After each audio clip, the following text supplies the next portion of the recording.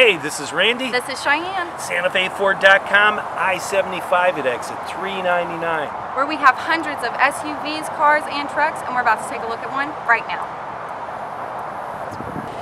This 2017 Buick Enclave has fog lights, alloy wheels, a remote keyless entry with solar tinted windows, roof rails, and a clean Carfax.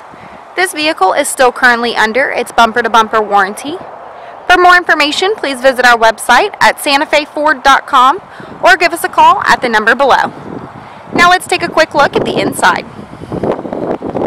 On the inside, these seats are a gray leather. Both the driver and passenger side seats are powered.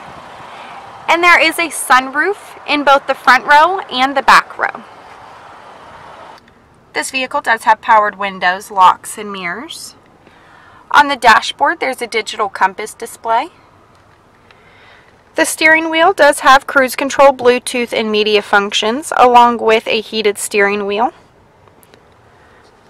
On this LCD touchscreen media center, there's AM FM radio, XM satellite radio, a CD player with a backup camera and sensor. There are dual climate controls for both the driver and passenger side seat, along with heated seats, and rear climate controls, a USB and 12 volt plug-in, along with an auxiliary port, two cup holders, the armrest can slide back to uncover a storage compartment, and opens up as well for an additional storage space. And this vehicle does have OnStar navigation as well as a HomeLink system.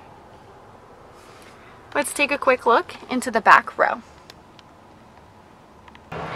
In the back row there are the rear climate controls along with a 12 volt and two USB ports.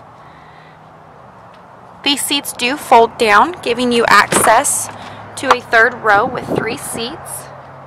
There are cup holders and storage compartments on the side panels and a view of the sunroof. Here's a look into the trunk space. The seats do lie down flat, giving you additional storage space. There's an additional 12 volt plug-in. And on the floorboard, it can lift up for an additional storage space as well.